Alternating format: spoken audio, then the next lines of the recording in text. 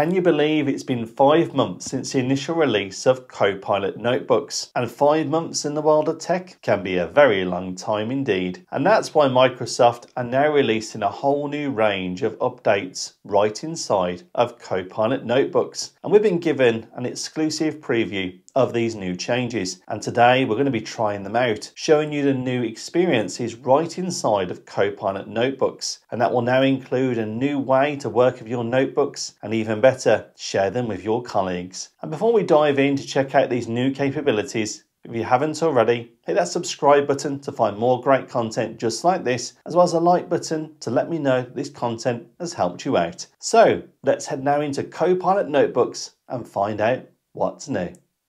So let's start off with the new homepage for Copilot Notebooks. At the top of the screen, we have a new section called Recommended.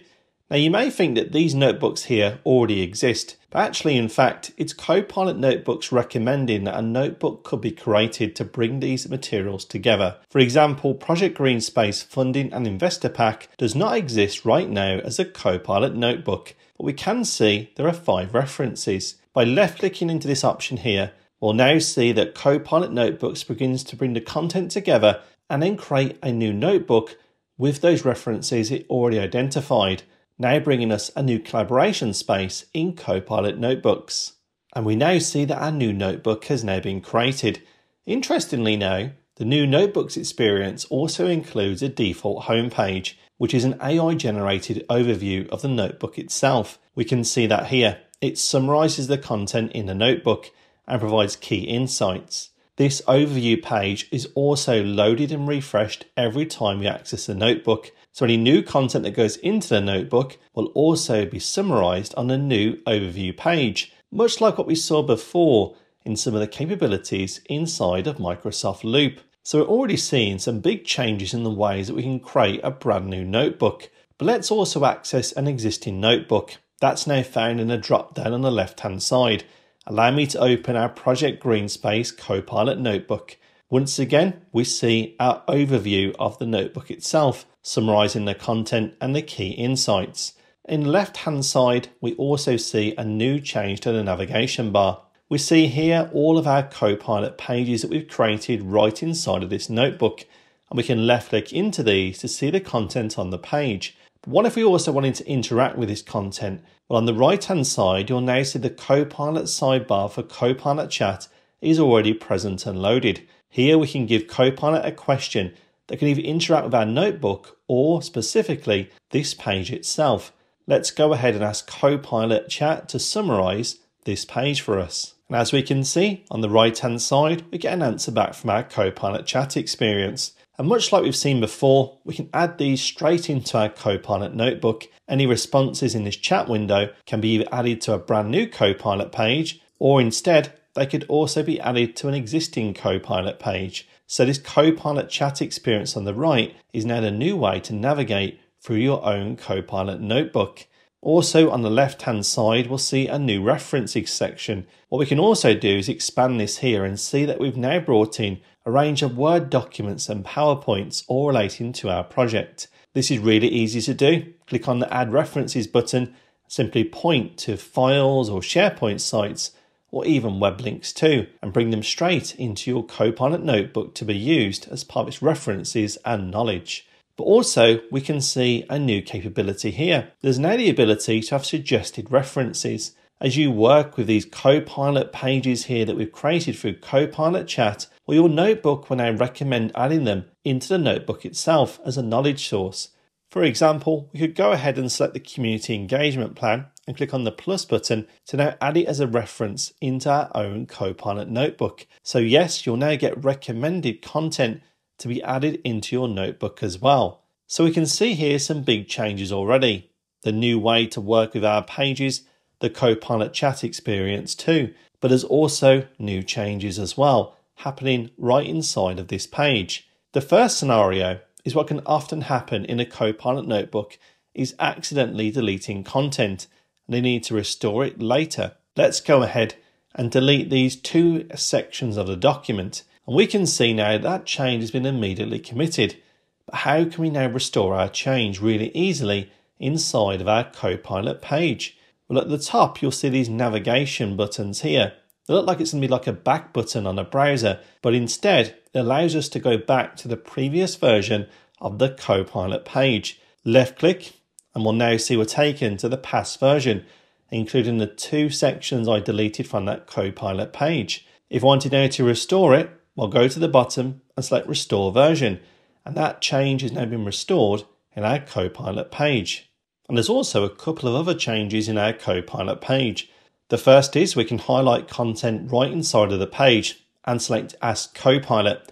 This now brings up our Copilot box here that we can fill in a prompt, which is then sent over to our Copilot chat window to change content right inside of the Copilot page. Also, near the bottom of our page here, we'll see a new option for Copilot shortcuts.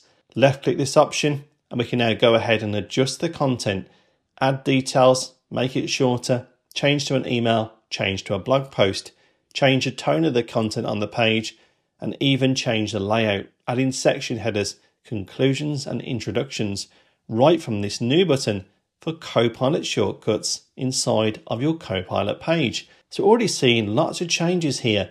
It's the way that Copilot pages work right inside of our notebook, too. But where are the couple of options that we worked before with Copilot notebooks because they don't seem to be present here anymore? The first option is custom instructions. Well, we'll now see them under our notebooks on the left hand side, Copilot instructions. And here's where we can now give Copilot custom instructions in how Copilot should respond to any of our questions that we ask it right inside of our notebook. I'll now go ahead and add in some of our custom instructions. And now they've been added, we'll go ahead and click on save. So that change will now interact with Copilot, giving us the different custom instructions for any of our different queries. Also, where is audio overviews? Well, on the left hand side here, under the plus button next to created content, we can now create an audio overview right from here.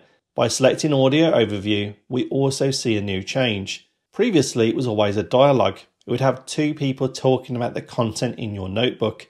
But now you can go ahead and change it to narration and choose an individual speaker so you can listen back to in your Copilot notebook. Change the style to professional or casual and a duration.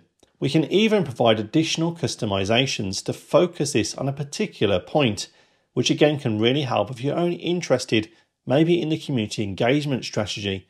So I'm going to ask Copilot to focus on that particular point and then generate an audio for us to play back.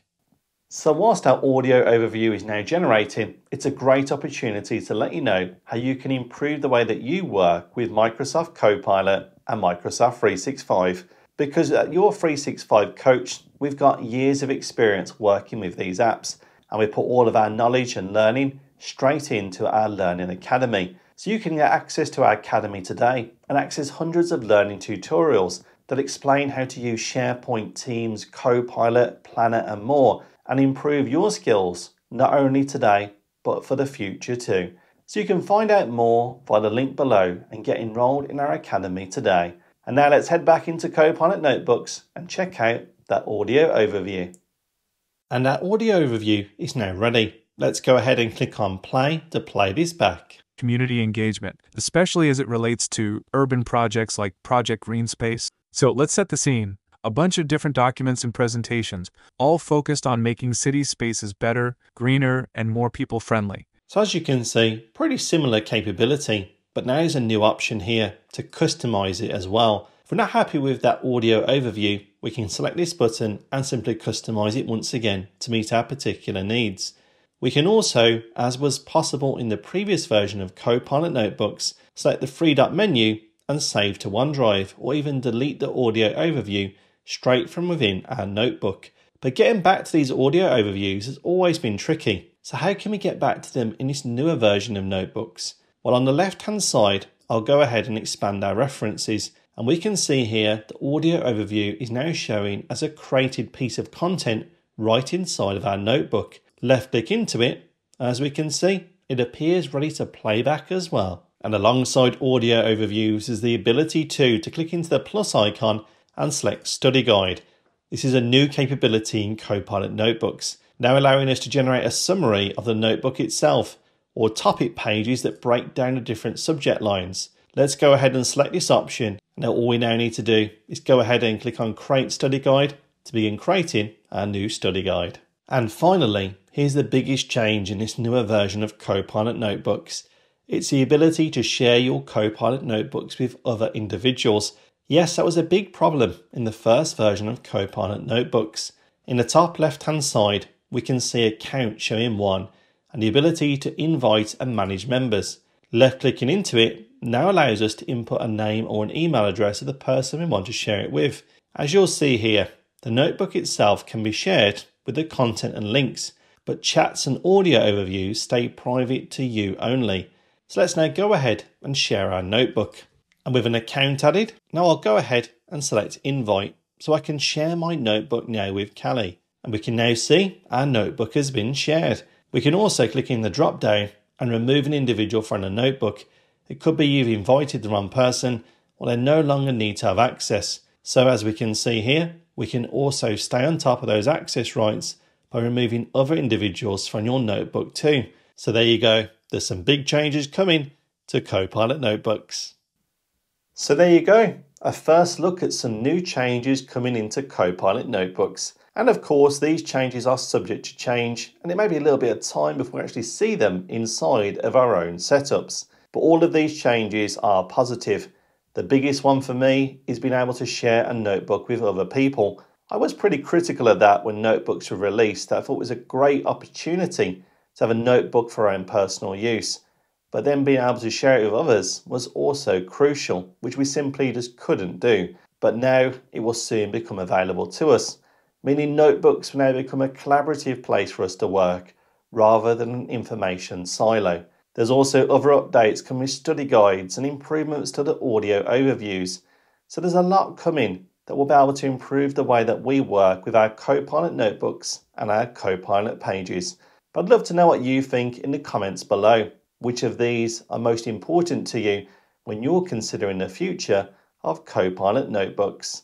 And of course, I'll come back to this in the future when Copilot notebooks are fully released to see exactly what's new and how it all comes together. So if you haven't already, hit the subscribe button so you won't miss that tutorial and all the other tutorials that we put out every single week. And other than that, I hope you enjoyed this video and I look forward to seeing you on the next one.